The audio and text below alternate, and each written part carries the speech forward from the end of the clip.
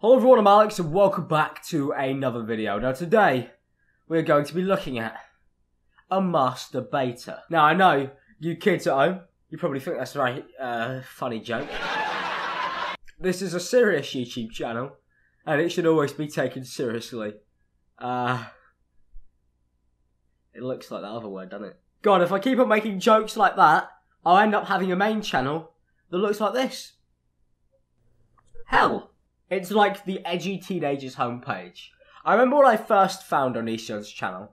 His comment sections are just filled with people who you expect to find on the really dark parts of Tumblr. Talking about how they're going to kill their parents. Stuff like that, you know. Classic teenagers. The prime YouTube audience. But having an audience like that means that uh, they grow up eventually. And they're no longer are interested in watching your videos on abortion or uh, murdering children, being a paedophile for comedy series, or just generally dressing up like a buffoon. They move on. Uh, they get bored of what's happening on your YouTube channel. Uh, but no, it obviously couldn't be that.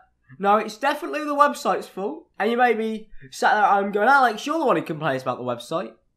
Yeah, I do. But at the same time, I do realise that uh, I'm not owed a YouTube career. My views aren't going down. My views are just worth less.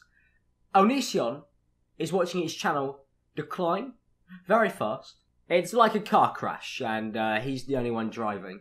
But he believes that YouTube have taken the wheel. It seems like Onision, dare I say it, is becoming irrelevant. Now, those are painful words for any YouTuber to hear. But there's certain things YouTubers do. They either adapt or they find new ways to create. Or they just start baiting people. You just go mentally insane. Now, this is one of the things that DJ Keemstar has uh, has used across his many years as a YouTuber. It's the idea that there's no point in improving your content or trying to find something new when you could end up just fucking people off and hoping they talk about you. So I understand that this video is automatically flawed because Greg wins. The fact that I'm making this video means that he technically gets what he wants. That's why we're going to prove a point here.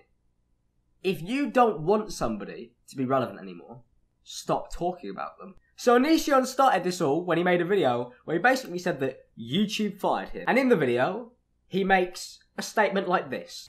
And here's the thing. Statistically, when people lose jobs, the rates of them offing themselves increases. I just want to point that out to YouTube. Bit drastic, you know? Uh, I'm gonna kill myself if my YouTube channel falls through.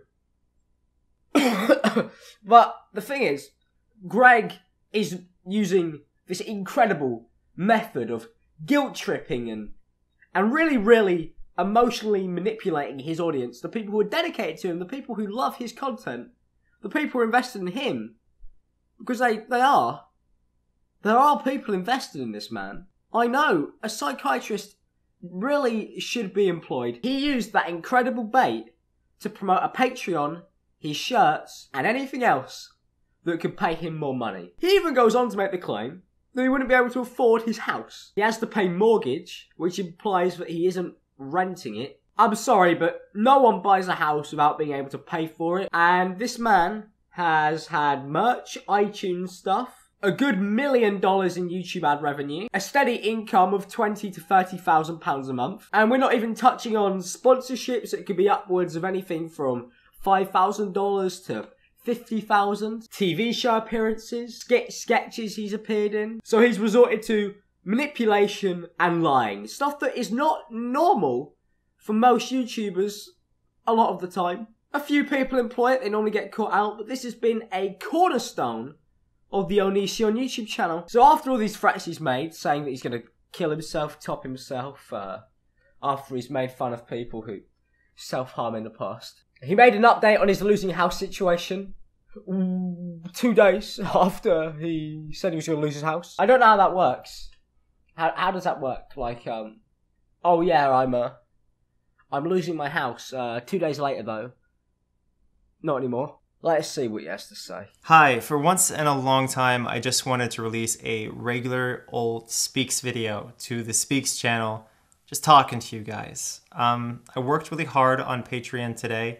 I have a lot more work to do. I'm now doing a monthly thing. So if you guys want to help me make more videos and help pay for these really necessary things like the, the set that I record at and uh, my mode of transportation to get to the sets and my house that I need for, you know, things I can't talk about because it's private life and I that's sacred. You know, believe it or not, that stuff is sacred. It's a bit ironic coming from you, isn't it? Hasn't kept anything private in his life since 2006. Now this annoys me on a mass level because they are creators like my friends Bionic Pig and Elvis the Alien, two guys who put genuine effort into making good content, who don't live in a million dollar houses, who don't have 20 grand sponsorship deals, who don't have multiple songs on iTunes since 2010, who do not have 50 million view videos, who generally need Patreon to be able to pay rent. Especially after the ad crisis. We haven't had enough time to save money to get us through this. Like, I'm looking at my paychecks and I'm going, oh, maybe, uh, maybe we won't eat food today. I'm dying. Obviously, that's not the case. I'm not Onision. I'm not going to sit here and beg like a bitch. But I am quite clearly not a millionaire who's had a fruitful career of almost 10 whole years. And even my friends. So he is preying on the fact that these smaller creators need money to fund his multiple million subscriber YouTube channels. That doesn't sit right with me. In any way, shape, or form. Now, this is the man who made How Do Women Violate Men? Is it even possible? Question mark. With this fucking mustache on his face. So, I'm looking at him, I'm looking at everything he says and going, maybe he's trying to stir up a conversation so he could bring the views back. Because that is currently what he's lacking. This man doesn't need money, nor do I really believe that he cares about it too much. I just believe that this man is really, really, really desperate for attention. Now, money comes with attention, but right now, there's not really much money up for grabs. He just wants to be relevant again. Because do you know what's more dangerous about losing your money? Losing your relevancy. You could take somebody's ad revenue away, but if you take their relevancy away, they are nobody anymore. And this is why he is the master debater, because since then, he has only attacked trending channels. I see my boy, my best friend Niall, appearing in a thumbnail here. Women are attacking! Exclamation mark. This is the man who rated 15 year old girls on his Tumblr blog. So if you're not really getting it at this point, he doesn't give a fuck. Like, he doesn't care. He doesn't care about what you have to say. He doesn't care about your response. He knows he's a hypocrite. That's why people talk about him. Because people like proving other people wrong. So the more wrong he is, the more people have to intervene and go, Hey Greg, you're a bit of a dumb cunt. And he goes, Yes, keep on calling me a dumb cunt, it's good. Now obviously I've fallen in the trap multiple times, but that's normally because I feel like he's really crossed a line that definitely deserves a bannable offence. I feel no pity for the fact that he's lost his ad revenue, let alone the fact he's losing his relevancy. Good on him. I hope your channel dies. I never normally say that. I wouldn't even wish that on some of my greatest enemies. But this guy, this guy is pushing the boundaries. I know that's a big statement, but at the same time, I strongly dislike a man who, when his channel is failing, he resorts to trying to become the most hated man on the platform to stay relevant. Playing the supervillain is untalented and easy. Anybody could give out the edgy opinion. Anybody could make themselves hated. This isn't a talent.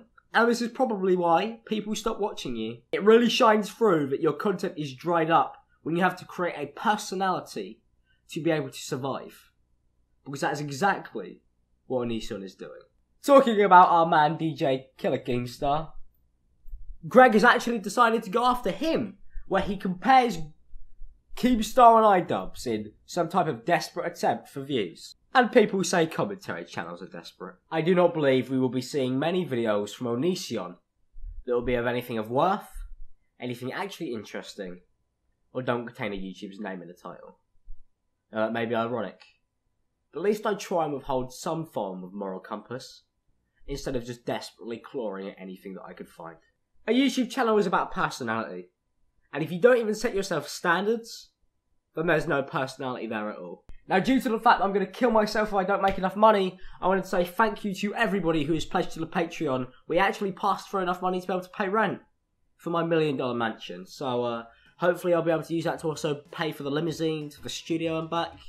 We'll see how it goes. But thank you to my Patreons. Especially to Simon Ainsley, Omega, Rachel Stattrack Jack, Adam, The Dragon Overseer, Limitless, I'm Costalong, Nathaniel, Nerd City, GSCO, Michael, Lucas Moore, to Jesse, King Wolf, Lando, Robert Jenkles, YouTuber, That's Comet, Sparky Eric, Peter is Cool, Ellis Allen, Crystal Melon, McKendra Ellen, Bujovic, Abraham, the French guy, Undead Rat Mother, and Glitch Pro.